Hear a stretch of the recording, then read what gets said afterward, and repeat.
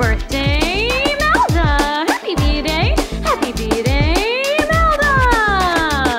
Feliz cumpleaños, Imelda, yeah.